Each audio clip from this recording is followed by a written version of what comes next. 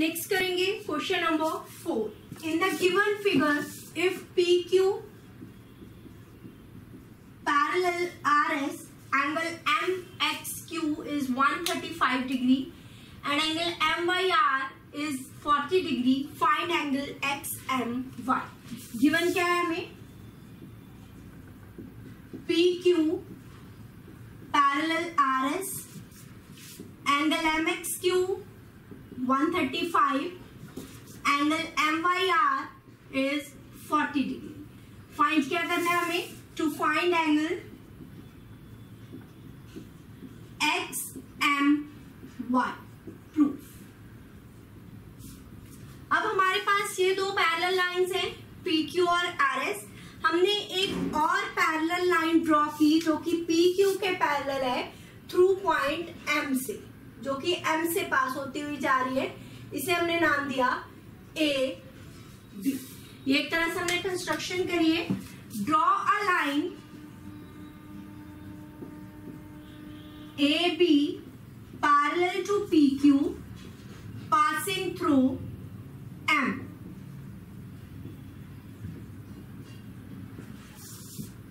P Q parallel to R S हमें given है। A B parallel to P Q ये हमने construction की है। ए बी पी क्यू के पैरल है पी क्यू आर एस के पैरल है। Therefore A B parallel R S A B और आर एस भी पैरल हो गई। क्यों? Lines parallel to same line lines parallel to same line are parallel to each other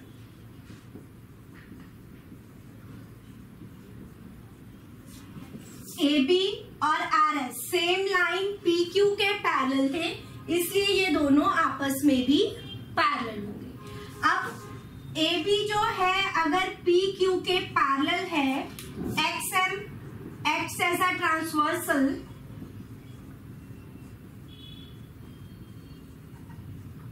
दो lines parallel हैं, एक ट्रांसवर्सल उन्हें इंटरसेक्ट कर रही है तो हमें पता है interior angles on same side of transversal are supplementary interior angles interior angles on the same side of transversal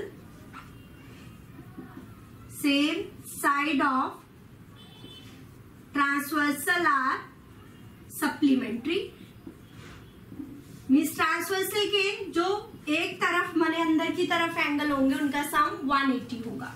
A B parallel P Q X M है ट्रांसवर्सल तो इंटीरियर एंगल कौन से हो गए एक तो दिस एंगल और एक ये एंगल ये ट्रांसवर्सल के अंदर की तरफ़ दोनों बने एंगल्स हैं।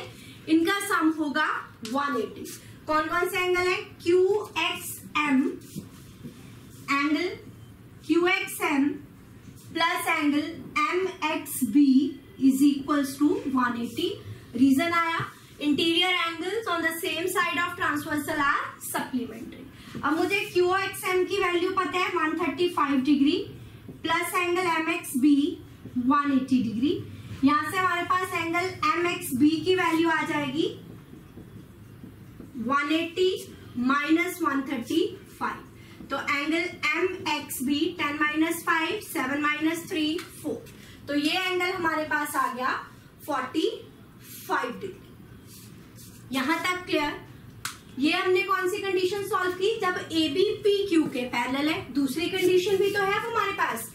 ए बी अगर ए बी आर एस के पैरेलल है तो हमें पता है कि अगर दो लाइंस पैरेलल है ट्रांसवर्सल इंटरसेक्ट कर रही है तो इंटीरियर एंगल्स इक्वल भी होते ये पैरेलल लाइन ये parallel line this is transversal interior angle एक एंगल इस तरफ़ और एक एंगल इस तरफ़। So angle B X sorry B M Y is equals to angle M Y R interior angles alternate interior angles are equal alternate angles हैं interior angles equal होंगे।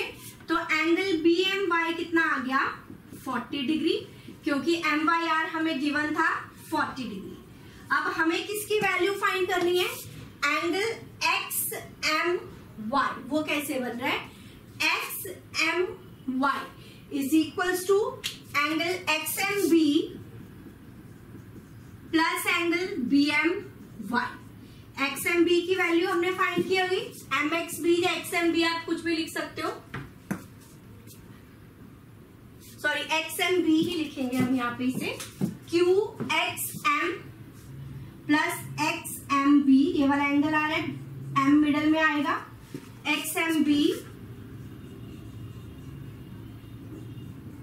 so angle X M B हमने find किया 45 और B M Y आया 40 so 45 plus 40 that is 85 degree तो angle X M Y की value हमारे पास आई 85 डिग्री दोबारा से बता रही हूँ, दो लाइंस पैरेलल हमें गिवन है। हमने एक line A B parallel to P Q draw की। एक्सएम है ट्रांसवर्सल एक ट्रांसवर्सल दो पैरल लाइंस को इंटरसेक्ट कर रही है तो उसके interior angles on the same side of transversal are supplementary this angle plus angle X M B तो कितने, किसके इक्वल होंगे? 180 डिग्री के। एक एंगल हमें पता है B X M sorry Q X M that is 135 तो यहाँ से एक्सएम बी की वैल्यू आ गई 180 eighty minus one thirty degree अब क्योंकि ए बी पी क्यू के पैरेलल और पी क्यू आर एस के पैरेलल है तो it means A B R S के पैरेलल भी होगी। Two lines that are parallel to the same line are parallel to each other अगर A B R S के parallel है तो M Y as a transversal करेगी।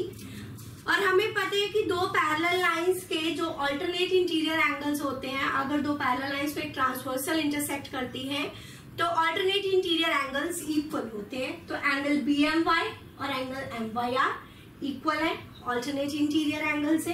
तो angle B M Y किसके इक्वल आ गया?